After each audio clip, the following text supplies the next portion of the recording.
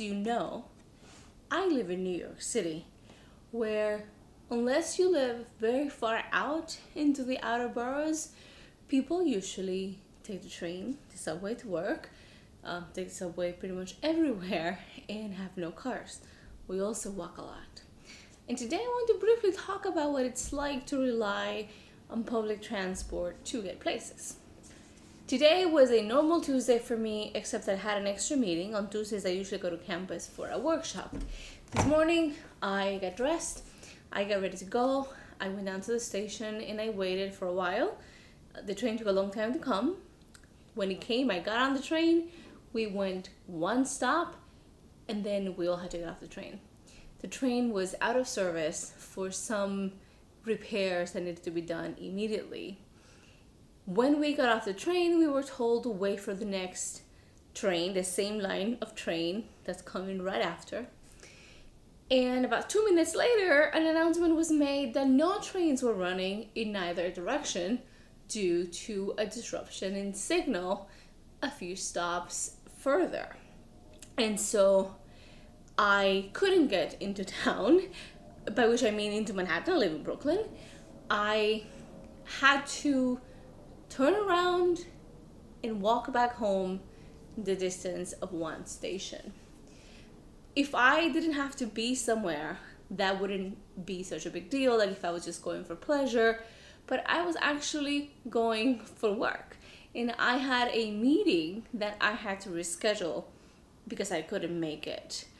And the subway is like, I guess, a really horrible maybe not horrible, but a really like troubled child that you love dearly, but it never ceases to give you headaches and sometimes disappoint.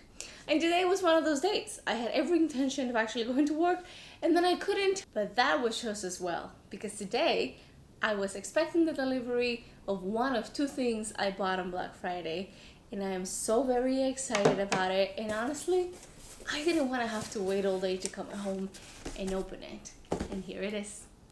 So for this episode of Vlogmas, we're gonna do an unboxing.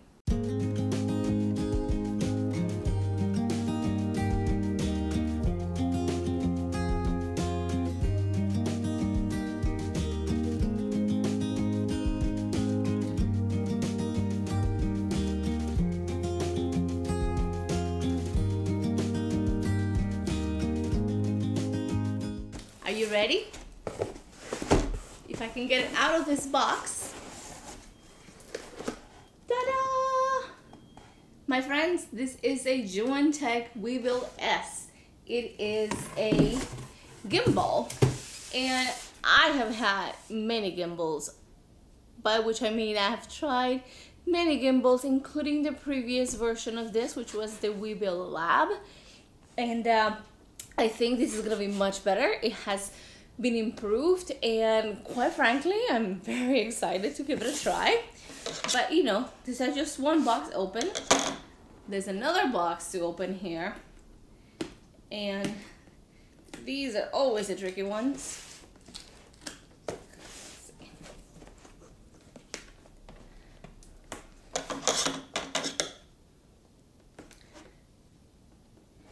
I swear that they make these boxes June proof.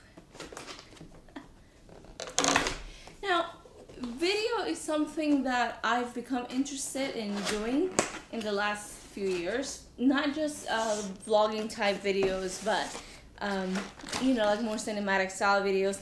And I think I really became interested in making videos when I started flying drones.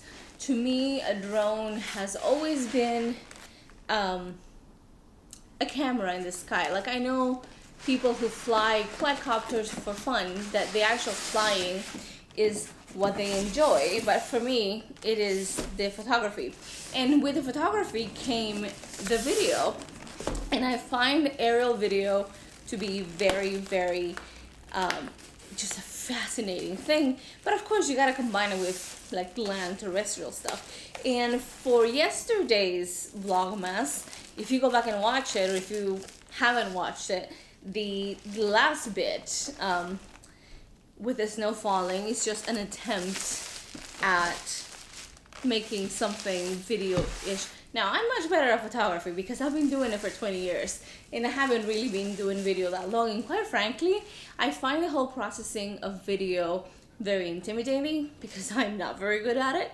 So the hope with all that is to say, the hope with the gimbals is that they will make uh, making videos moving easier because even though my camera, so I have I have multiple setups, but the one that I use for video, which is the one I'm shooting on right now, has excellent built-in image stabilization. There's always, you know, it's not 100% perfect. So I'm hoping that by combining the in-camera stabilization with the gimbal, I'm gonna get better results. And gimbals are hard to learn to use.